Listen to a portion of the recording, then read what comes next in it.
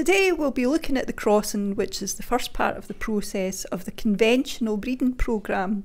Our current breeding objectives are to breed new raspberry varieties, both Floricane and Primocane, which combine superb fruit quality with good agronomic traits and pathogen resistance, will be economical to grow and suitable across the whole supply chain. At the end of the fruit season, we identify the varieties that we want to use as parents and the traits that we want to combine. We consider fruit quality, productivity, pathogen resistance or tolerance, season, chill requirement, and then many other traits. This is our crossing house, which is an insect proof glass house. This means that we can do all of our crosses indoors and out of season.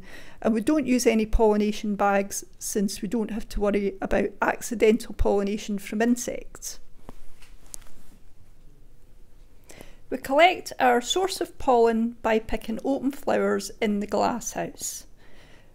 Raspberry flowers are self-fertile and have both the male and the female parts on the same flower. A flower consists of five sepals, five petals, and a ring of stamen which circle around the group of the female parts, the pistils, in the middle.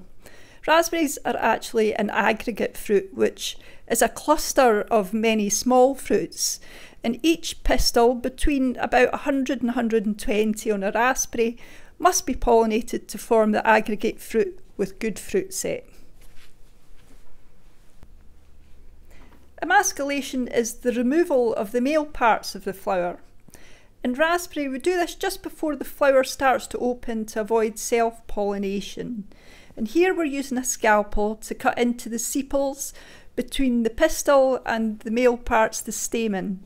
This will leave behind the pistils on the plant. After one or two days, the pistil will open up and show, this shows us that they're ready to pollinate. We'll use the dried pollen from the variety that we want to cross-pollinate with and brush it carefully over the stigma at the top of the pistil. All of the flowers on this same lateral will be pollinated with pollen from the same variety. After about five to seven days, we see the ovaries starting to swell. This is a good indication that they've been fertilised. And over the next few weeks in the glasshouse, we see the drupes developing into something that looks like a raspberry and after five or six weeks, once the fruit is ripe, the seeds are mature. So you can see here on the ripe fruit the distinct drupelets that make up the aggregate fruit.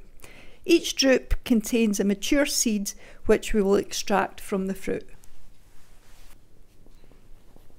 Each seed from the fruits shares the same parents, but they're all genetically distinct, and we refer to them as sisters as these will form a biparental population, also called a family. The seed will be chilled for a few months and then treated before germinating into seedlings, and each plant will have different combinations of the characteristics of the parent plants. So that was a short snapshot of the, the crossing programme, which takes up about the first quarter of our year. Uh, I hope you enjoyed this episode and follow us on LinkedIn if you want to know more about the breeding programmes and James Hutton Limited.